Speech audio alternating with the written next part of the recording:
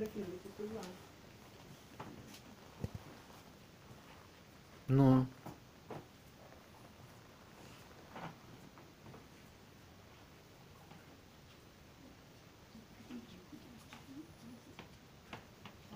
Библиотеку, говорят, даже не очень берут, Так потому что-то и все- дело, все что как-то не этого, что Ну, у вас хороший Это. Книги. А, это, вот у меня тоже родственники это самое покупали, покупали, денег платили. Сейчас, сейчас не знают, куда девать. Потому что я вот, например, не пользуюсь, мне вообще читать некогда, это раз.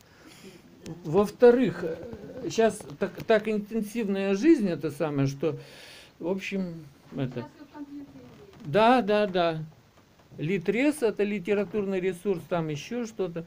Ну, в общем, короче, нам надо ехать. Я боюсь уже.